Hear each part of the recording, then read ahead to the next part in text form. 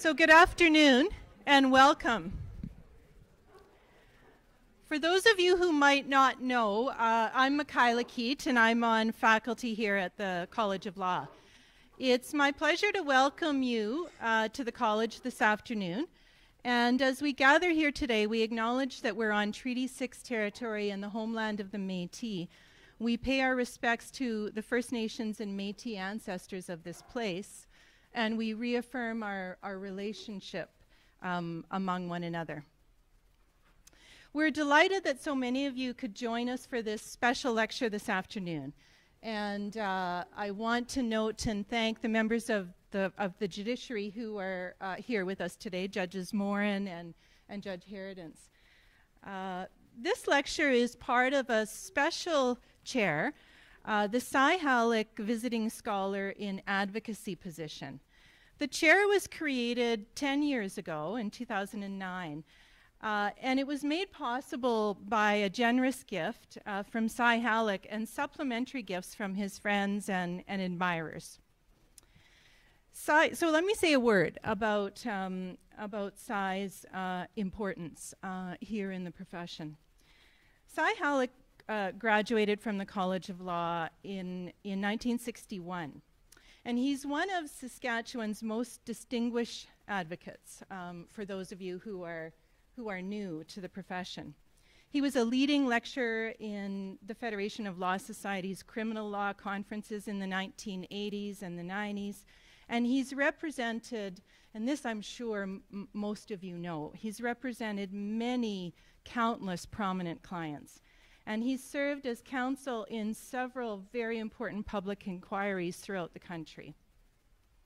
For 10 years, the Cy Halyk Visiting Scholar in Advocacy has been bestowed upon prominent legal scholars, uh, prominent legal advocates, and it's a special set of criteria that we look at um, in terms of uh, who can speak to the topic and share experiences um, as uh, excellent advocates uh, in Canada.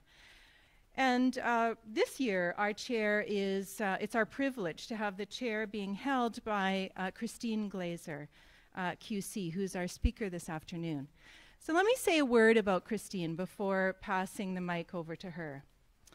And I want to start by just reflecting back to when I graduated from this college back in 1990. The year that I graduated, Christine became a partner in the McKercher Law Firm here in Saskatoon. And that's significant for this reason.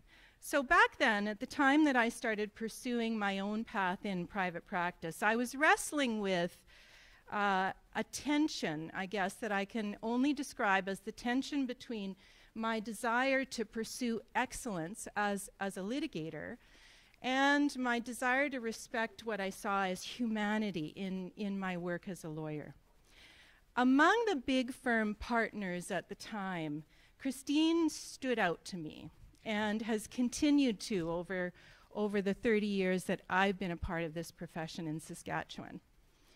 Let me just say a word about why. In addition to being uh, a warm and compassionate person, a leader who encourages those around her, um, a mother. She's always been a model of success on even the narrowest and most traditional terms.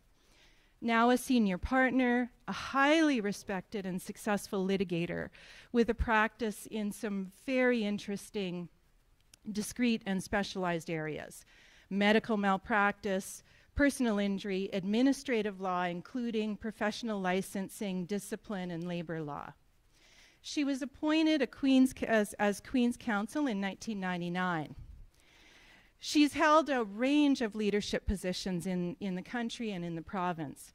Past president of the Saskatchewan branch of the CBA, past chair of the National Health section of the CBA, on the management board for the Canadian Bar Insurance Association, uh, she's the current chair in her firm's uh, health law practice group and uh, a member of the very prestigious American College of Trial Lawyers. Not surprisingly, Christine was recently selected by her peers to be on the Best Lawyers of Canada list uh, in the area of personal litigation um, or personal injury litigation. And she has consistently been listed in the Best Lawyers in Canada um, publication since 2006. So, by all accounts, um, she's um, a leader and a wonderful person to be speaking to you about advocacy and what makes an excellent advocate. And it's just such a pleasure to have her here working with groups of law students over the course of today and other days um, around her chair. So, uh, join me in welcoming Christine.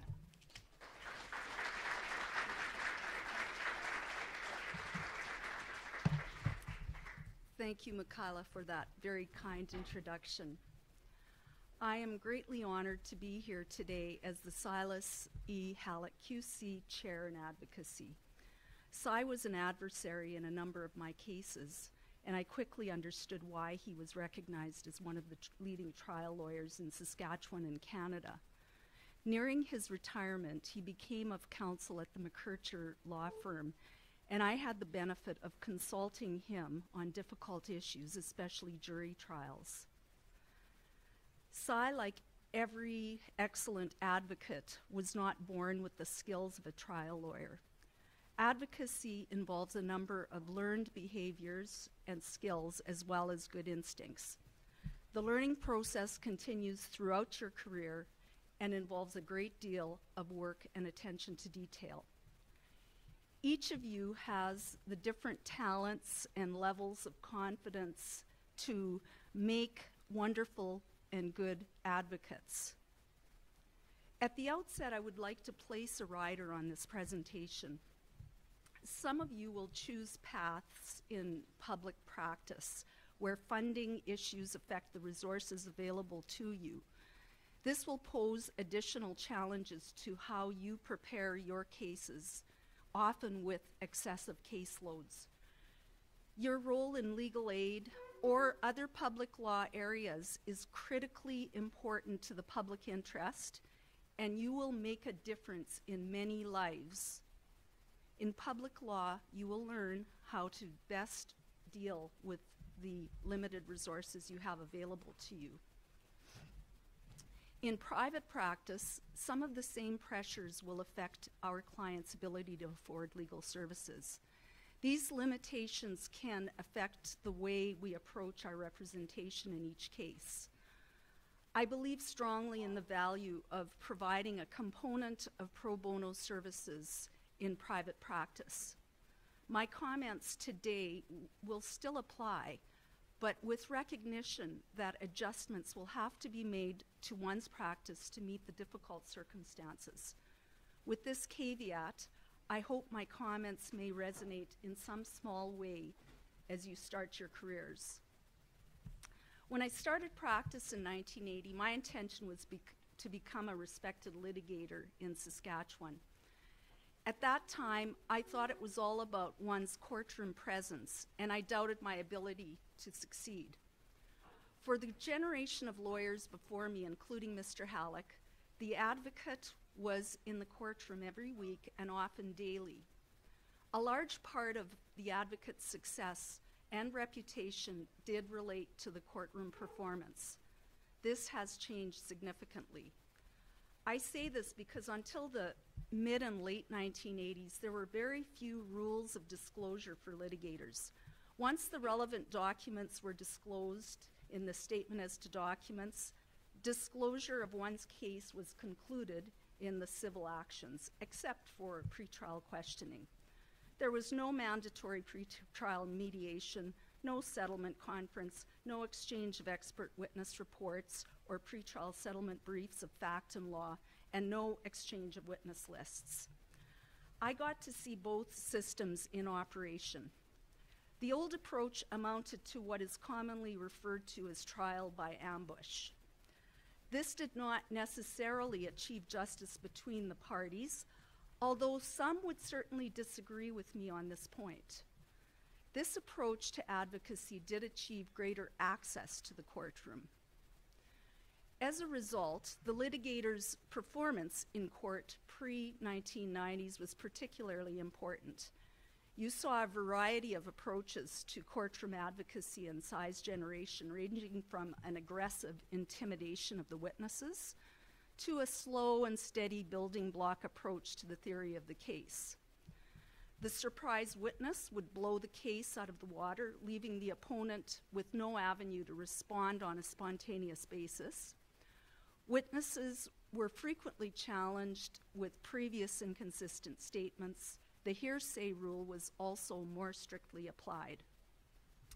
Surprise witnesses and unexpected expected testimony still occurs today, but the advocate's job has changed significantly with the mandated focus on efforts to early settlement and changes in the rules of court. During the 90s, strict disclosure rules were developed so that civil cases are now largely detailed in the pre pretrial disclosure stage. There's mandatory mediation, exchanges of, of witness lists, expert witness notices, and detailed pretrial briefs detailing the facts and the law. Failure to comply with the rules can adversely affect your case.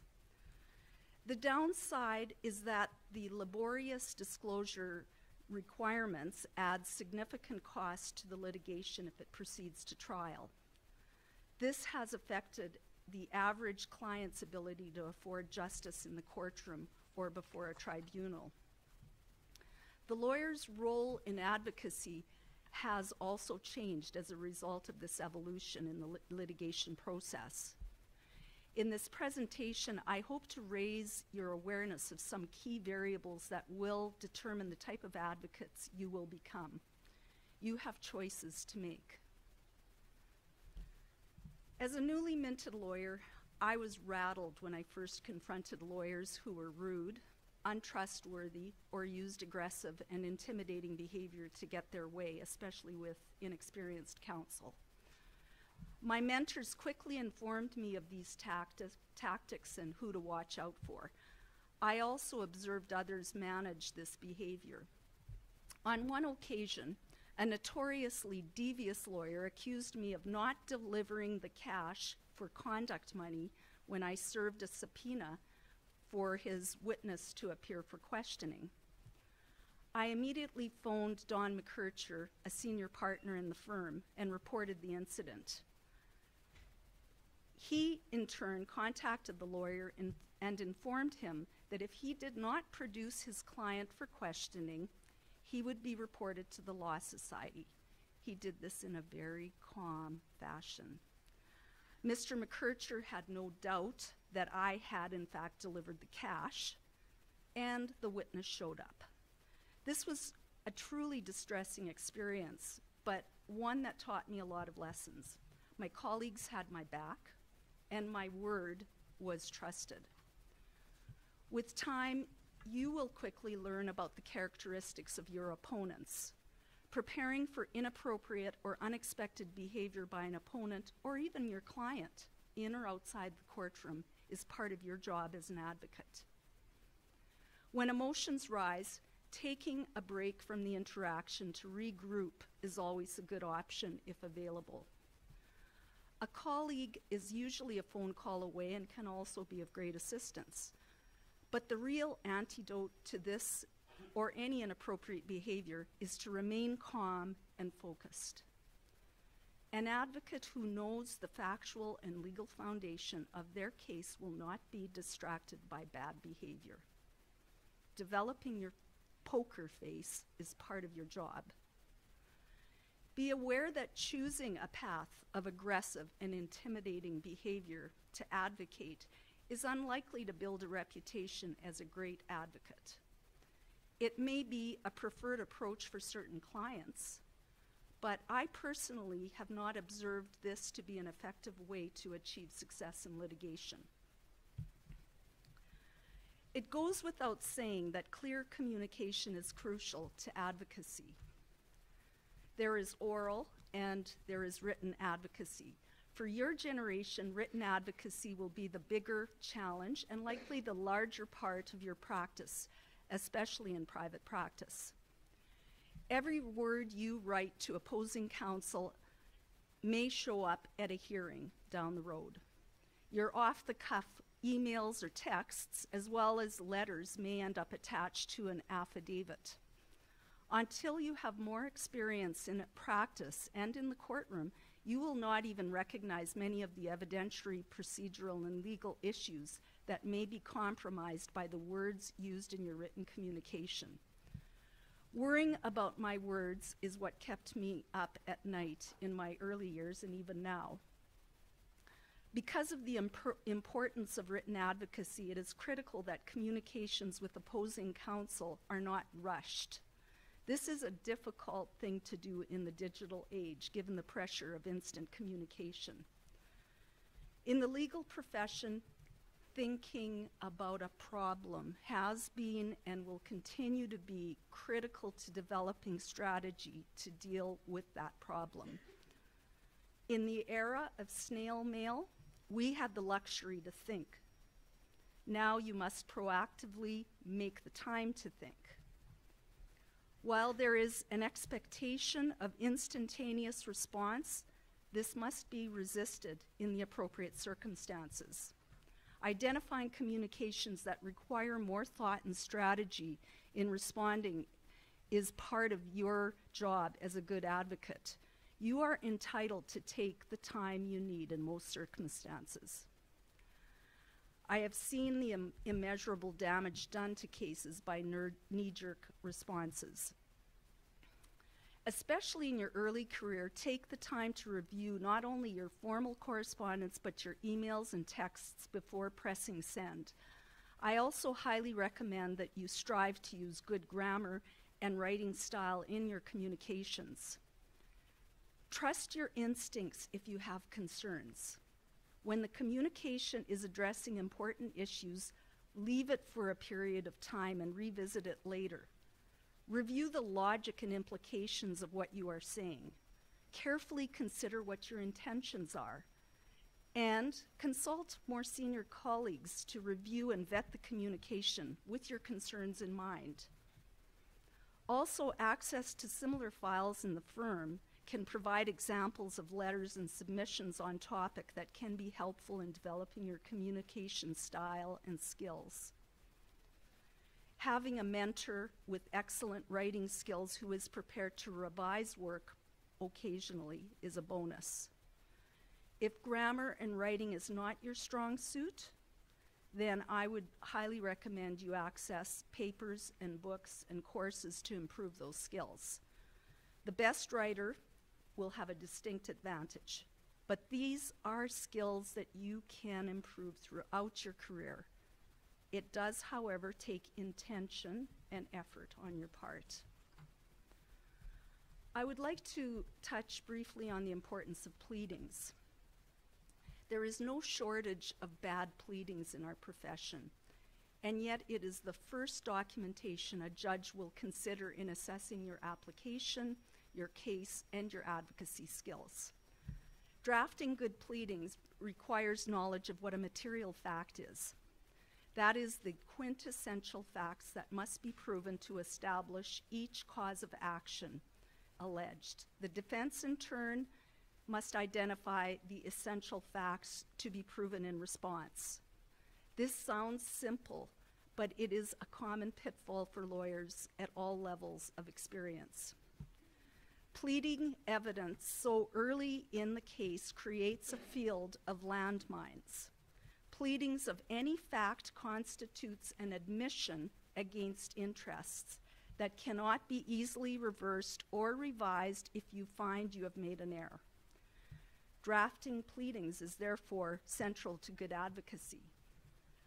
I highly recommend that you focus on developing this boring skill early in your career. Aside from making erroneous or unnecessary admissions, pleadings set in stone the parameters of the case and the evidence you will be permitted to pursue through your demand for documents and questions you may ask at questioning and at trial. The first and most important step to good pleadings is to have a detailed understanding of the case and available evidence. This is essential to identifying the material facts. For example, the fact that the car went through the stop sign is obviously material. But much of the detail, the number of people in the car, the road surface, the weather, the position of the stop sign, foliage, and vegetation in the ditch may not be material. Spend time thinking about how you will prove or defend the essential elements of the action before finalizing your pleadings. If a fact is not essential to the claim or defense, don't include it.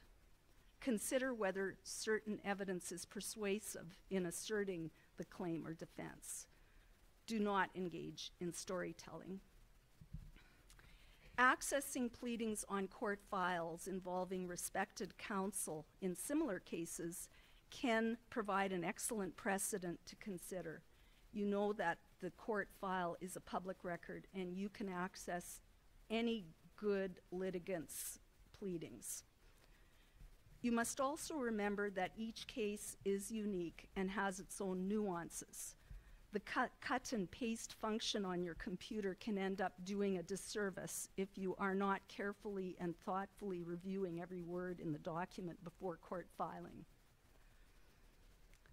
Factual accuracy in pleading and written oral submissions is a hallmark of good advocacy. The court and your opponents will always assess whether your word can be trusted. Your word is critical to advancing your client's cases. If you make errors, correct them promptly with an apology and an explanation.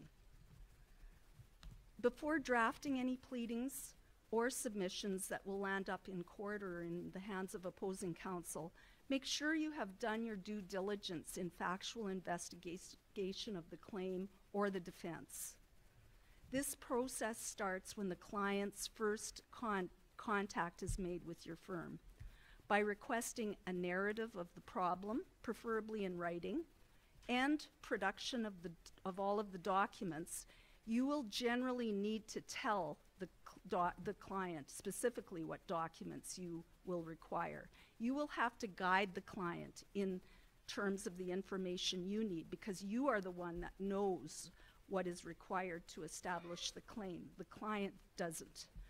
Your investigation also requires ongoing assessment of the client's credibility. Challenging the client's story and position is important to establishing factual accuracy. It also helps to shape the client's expectations of the process as they experience missteps and memory lapses. They begin to realize the technical requirements of good advocacy. This process takes time. You will find out critical information that could influence your investigation and the strategy of your written and oral advocacy. If the case involves allegations of, pro- of, professional negligence, you will need to retain an expert early on to review the facts and opine on the practice and standards of the profession. Expert evidence is an essential evidentiary element to establish professional negligence. I have seen many cases dismissed at trial for failing to produce expert testimony on central issues. I would suggest that your success as a lawyer depends more on your advocacy in preparing your case before the hearing than your advocacy during the hearing.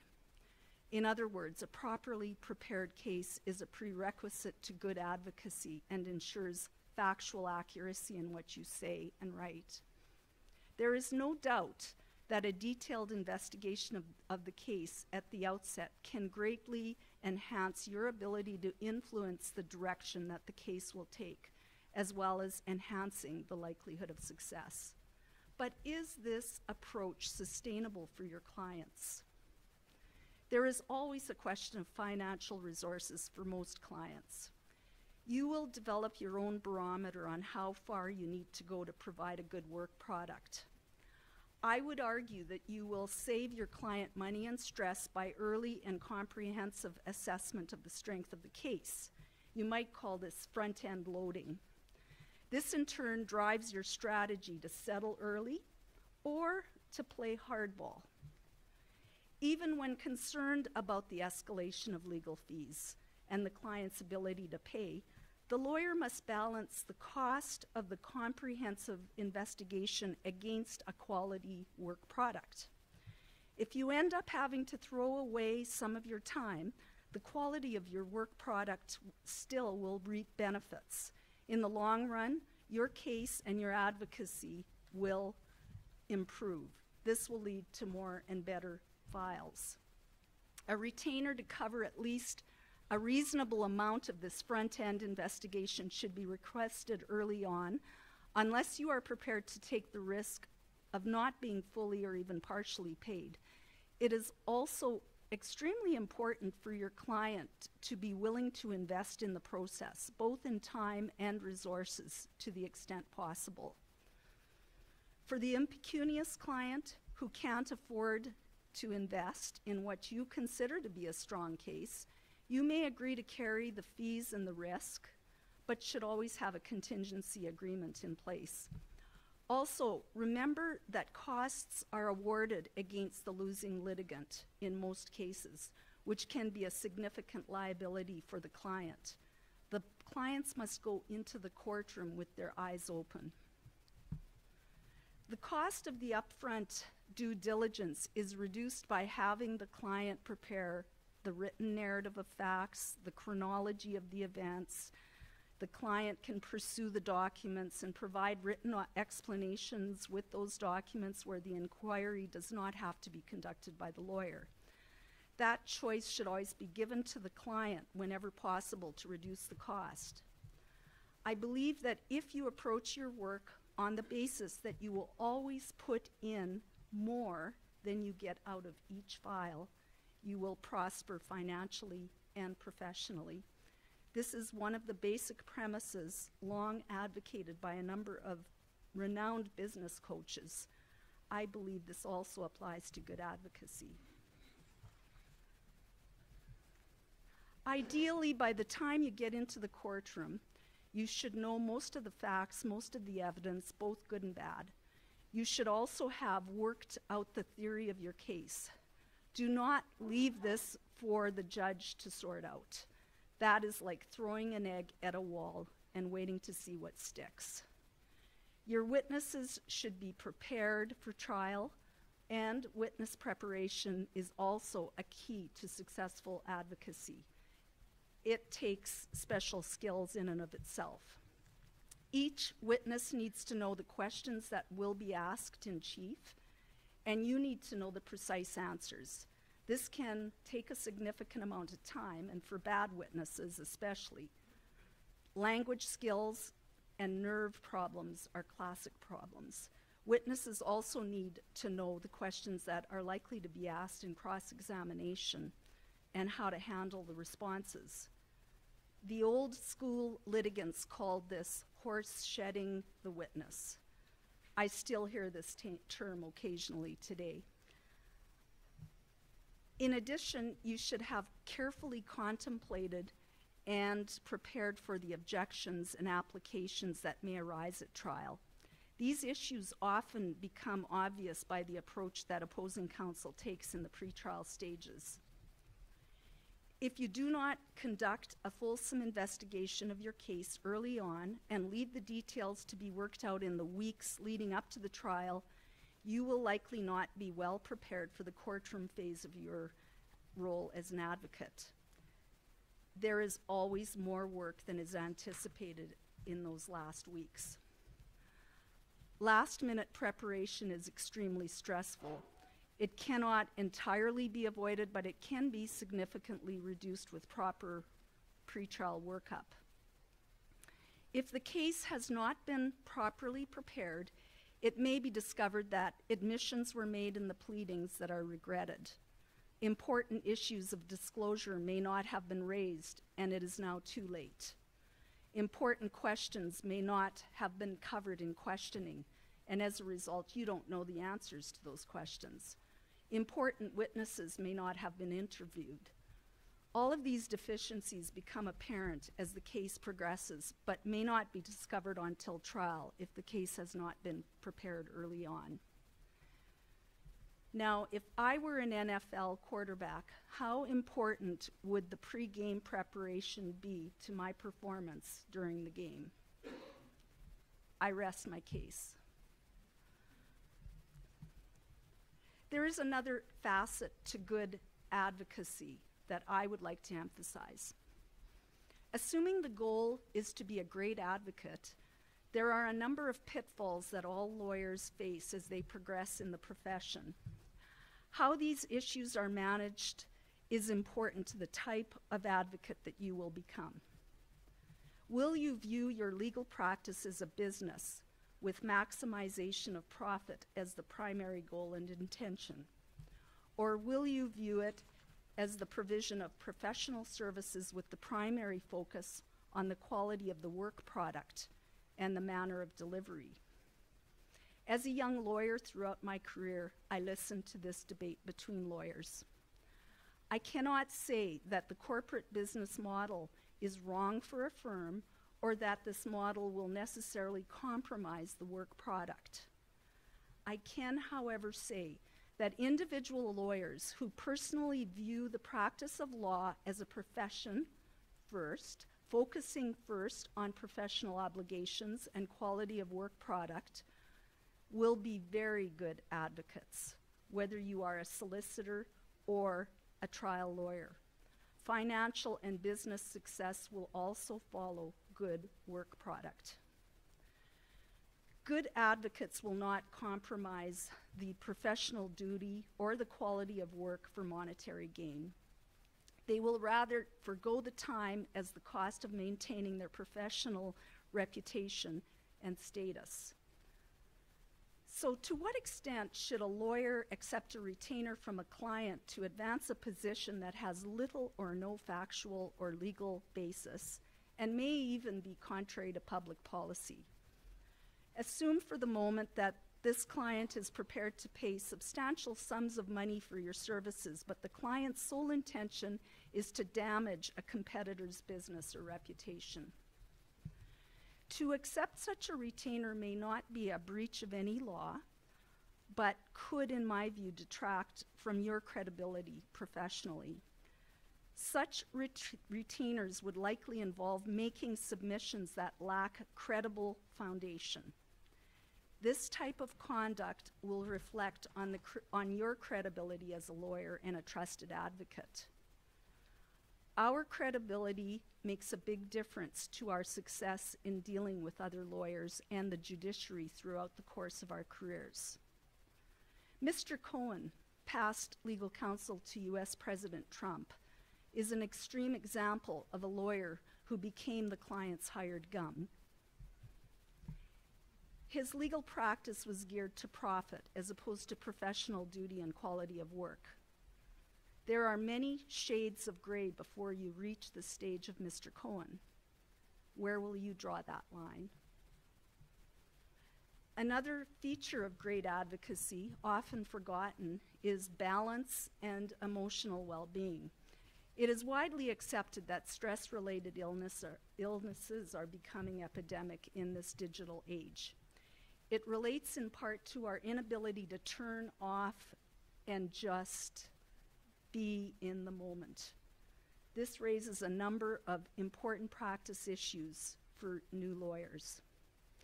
Are you inclined to become a workaholic lawyer? As lawyers starting out in practice, you will likely be expected to work very hard and at times very long hours. You are likely already doing that, having got to this stage of your career. In the early years of practice, the learning curve is steep, and the quality of work product generally takes longer to achieve than you could expect. In the beginning, at least, nearly every single thing that is given to you as a young lawyer will be a mystery and requires you to start from scratch to figure out what the heck you're supposed to do. I would say this is a characteristic of practice for the first three to five years. One must be aware of and guard against workaholic behaviors that extend throughout one's career. The workaholic lawyer typically is confined to the four walls of the office 24 7 throughout the professional career. They often find it most efficient to do all the work alone due to the time it would take to instruct and mentor other lawyers. This is a classic excuse. Undeniably, the clients of of the workaholic can be well served. Also, they become uh, they can become much more demanding because their lawyer is usually available 24 7. It is, it is common for such lawyers to be lone wolves, rarely working in teams with appropriate delegation of mentorship. They cannot leave their practice to go on holidays because they have nobody that they trust to look after their files. If they do go on holidays, they take their work with them. I think all lawyers are a little bit guilty of that, but it can become very extreme.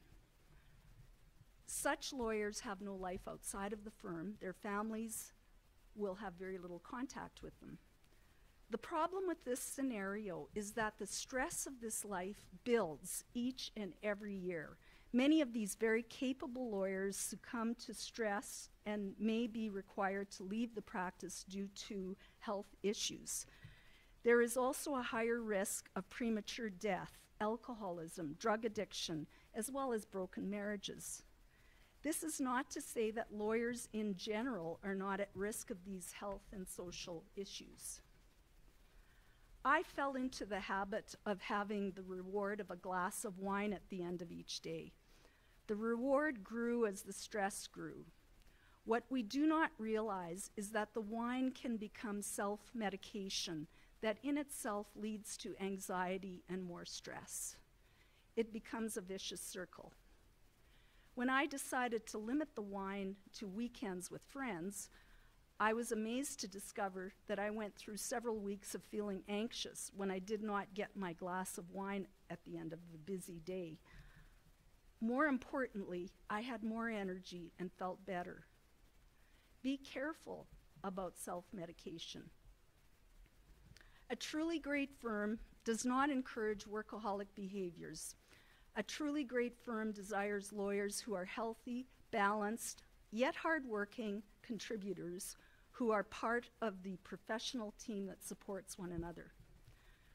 I agree that it is a double edged sword in that firms will be the ones that set the billing targets and press lawyers to perform. There will always be a business component to the practice of law, at least in private practice. Each of us must learn to set our own healthy limits. You will likely be faced with many challenges in balancing your career. This is critical to achieving happiness and fulfillment in your personal life, as well as professional success. Great advocates also tend to be very good mentors and contributors to the firm's professional image, as well as contributing to the community at large. This can be a very, very tall order and must be approached very carefully by lawyers young and old. First and foremost, guard your personal time focusing on your health and family commitments. This, however, must be balanced first also with your professional obligations to your clients. At times, you will be required to work excessive hours, but this should become the, should become the exception, not the rule. I became a partner in January 1990, and my third child was born in October 1991. Having children was a personal choice I made. I found that I became more efficient out of necessity when I had children. I put in the work when I had to, I tried to leave it behind at the office at the end of the day. I did not like split shifts. I was fortunate to have a stable marital relationship with a very supportive spouse who encouraged my professional pursuits. He had his own business and was able to adjust for me. I always took vacation with my family at Christmas, family week, and during the summer.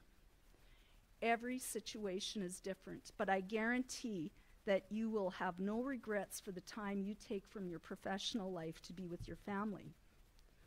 Also, it does not have to detract from your work.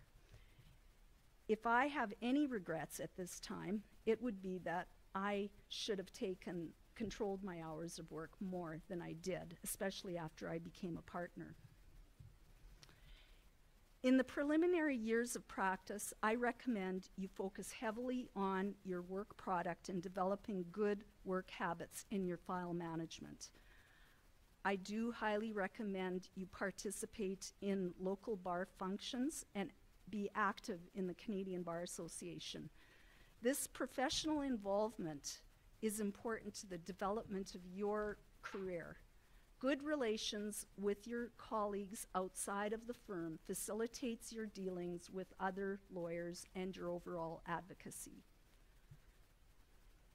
As time goes on, you may accept invitations to sit on boards or assist with community projects pro bono or otherwise. You may already be doing this. I know many of you are avid contributors.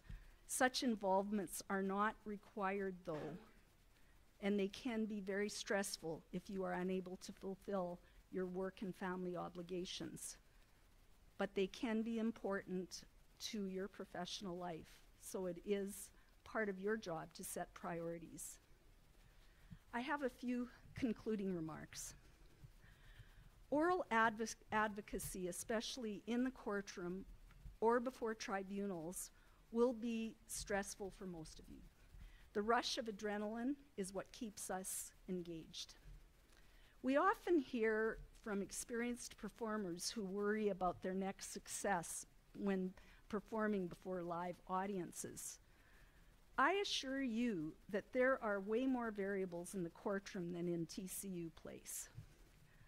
Litigators are often compared to performers, but unlike professional performers, the lawyer will have a big impact on the interests of the client who is paying for the performance.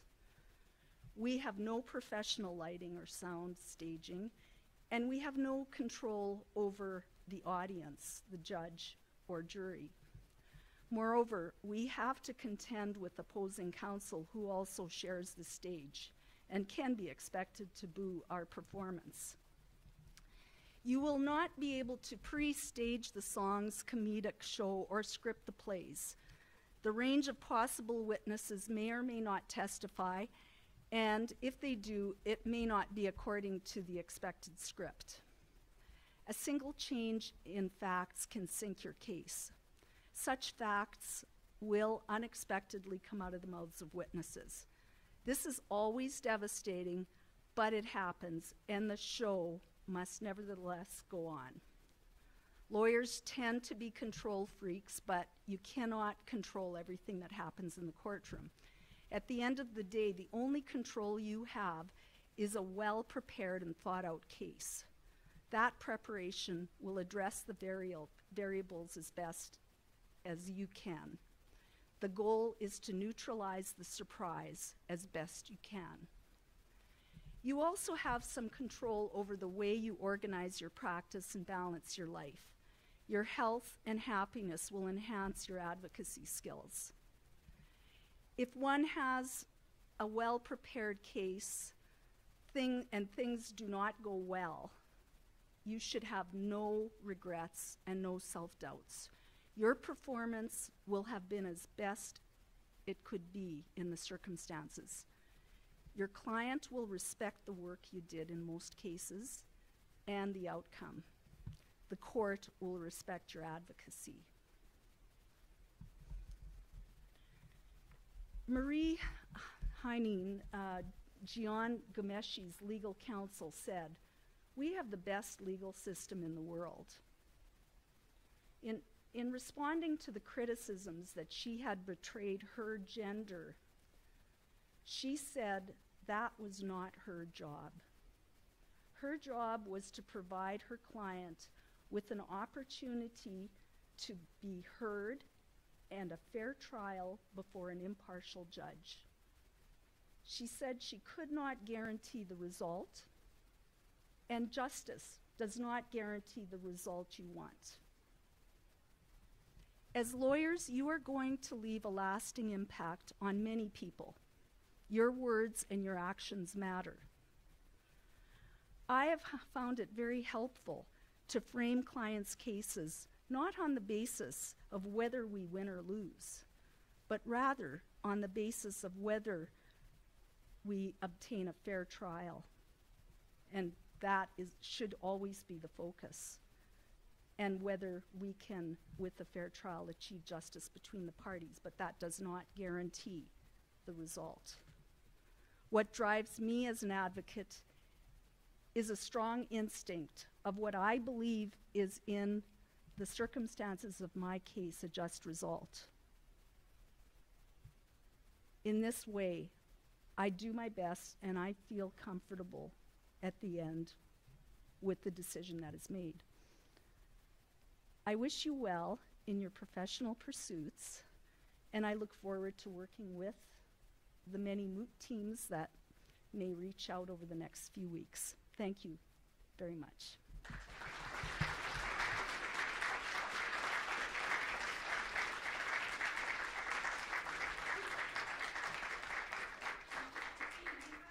time for a few questions, comments, observations. Let me open the floor for that.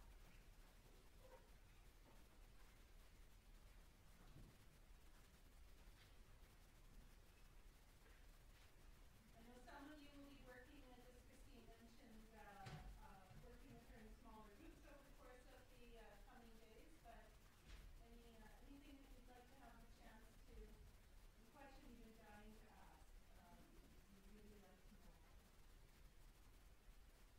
Yes.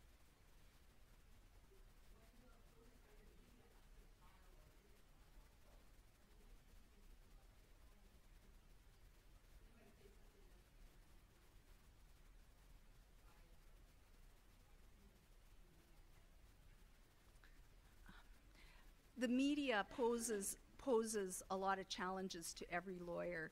And if it is a high media case you have to be prepared. So any approach during the course of trial we tend to reserve uh, our comments uh, for open court. And uh, we tend not to to offer opinions about the case or at least that that is my approach. At the end of the case, um, and I can think of one particular case in particular, um, the Bert uh, case involving uh, a, a plaintiff who had a tubal ligation, a young woman, and she ended up with all of her limbs removed and brain damage because of a, a raging infection she acquired. It was an incredibly tragic case. And in cases like that, um, all you can do is is thank the judge and the jury for having the courage to arrive at the decision that they did in such a difficult case, and um, and that kind of comment depersonalizes it. Um, but I, I tend to keep the comments depersonalized and focused on justice and supporting our, our judicial system, um, even if I don't like the results. There's always a lot of criticism to go around. And, and, the, and the, usually the, my experience, the press is never there very much. They're only there for the sensational witnesses, so they don't, they don't have a balanced view of the evidence that, that is presented at trial. Not sure I answered your question, but Other questions? Comments?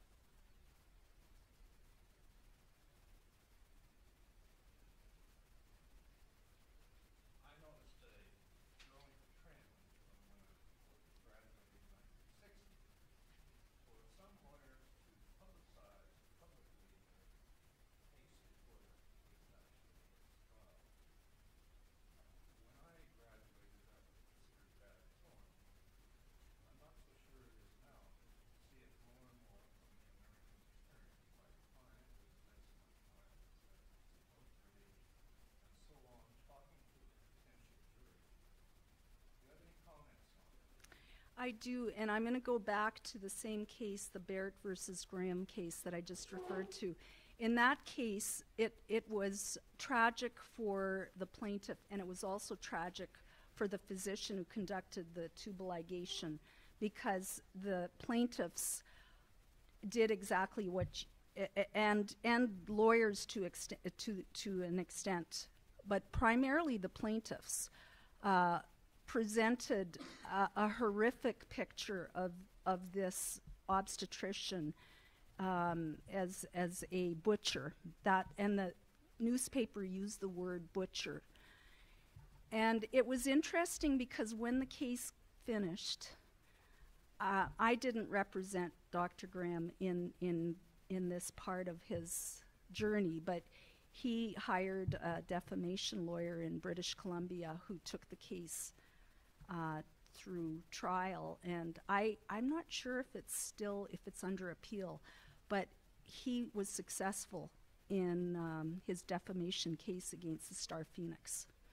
So, you know, the reporting by a newspaper is is open to challenge and your lawyers who speak about their case outside of the courtroom are open to professional discipline for making comments that are not factually based.